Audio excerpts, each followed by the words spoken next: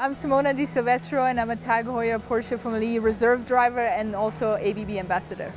I think the Girls on Track initiative is, is great. You know, I think uh, if I look back at how I started, you know, I was lucky that my dad and my mom yeah, kind of let me try a lot of things, and go karting was one of them. And and to see them come here, see the race cars, you know, it just opens a lot of possibilities. And uh, I think it's it's really great to see this. Yeah, I think you know, as a woman, you have to prove yourself a little bit more. I think like in any job, uh, especially when I was jumping from one uh, series to another.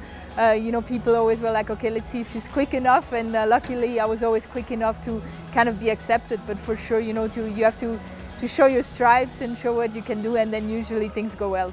I think my advice to any young young girl out there, you know, is just to, to follow your dream and not be afraid, you know, to, to talk about it around the people around you because you know they are going to be the people who are going to usually help you and uh, yeah uh, sometimes the road is not easy, but don't give up on yourself and just always believe in yourself.